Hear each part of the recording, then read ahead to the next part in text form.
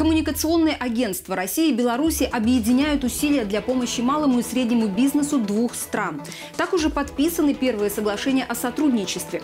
Несмотря на сложности мировой экономики в пандемийный период, многие предприниматели ищут новые рынки сбыта. И белорусские компании не исключение. Благодаря соглашению объединение усилий двух репутационных агентств позволит качественно и с минимальными тратами разрабатывать стратегии ввода белорусских брендов на российский рынок. В свою очередь, белорусская сторона готова обеспечить информационную и коммуникационную поддержку российским компаниям в нашей стране.